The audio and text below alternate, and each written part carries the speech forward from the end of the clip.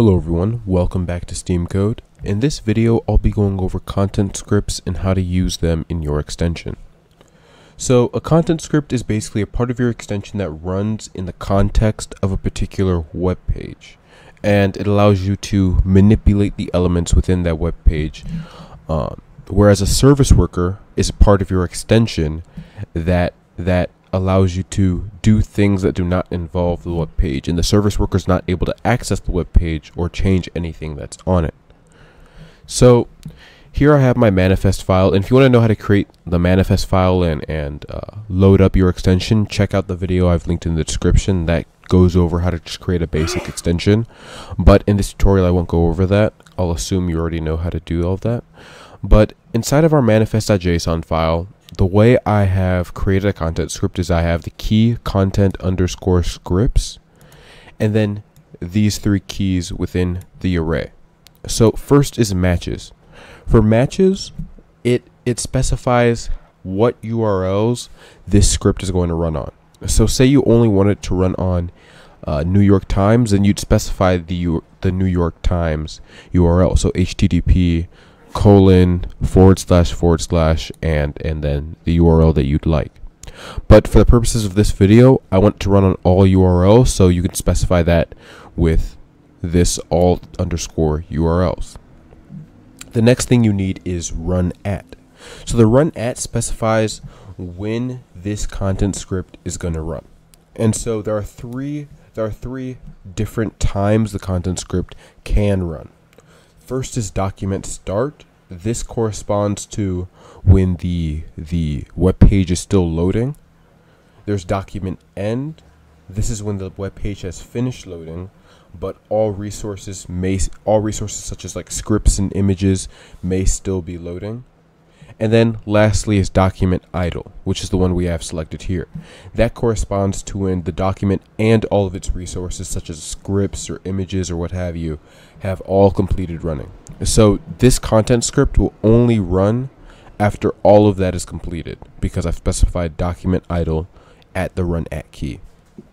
And then lastly, we have JS. And so this JS key just specifies the JS files that we're going to be using within this content script. You can specify CS file, CSS files, uh, countless other files if you want, but for the purposes of this video, all we're going to do is specify the JS file.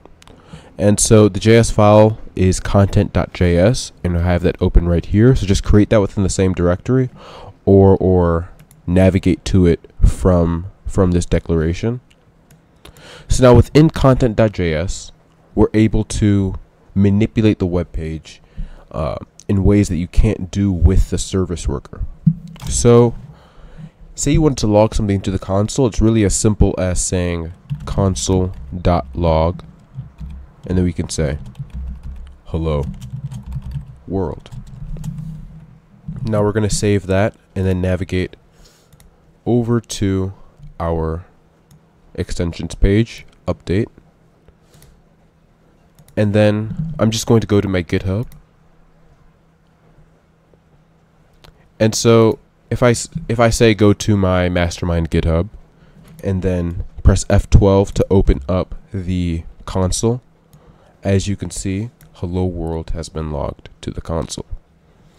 And then you can also change how the web page looks. So one way to do that is by changing the background color. So we can say document dot body dot style dot background color is equal to blue.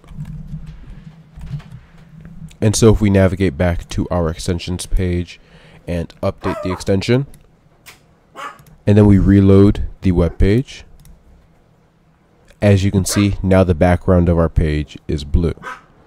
And so there are multiple different things you can do if you want to modify your web page using the extension. And many extensions implement content scripts. One of the most basic, one of the most fundamental things you need to know how to do when you're creating your own extension.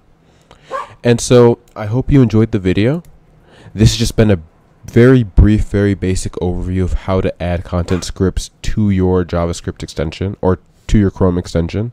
And in further tutorials, I'll go over how to add pop-ups, how to add uh, background service workers, uh, into more. I'll go into more depth with those concepts with the, with those concepts, and I hope you enjoyed the video. If you did, please like and subscribe. Check out our GitHub, Patreon in the description, and the video I mentioned earlier. That's within the description as well. And I will see you guys next time.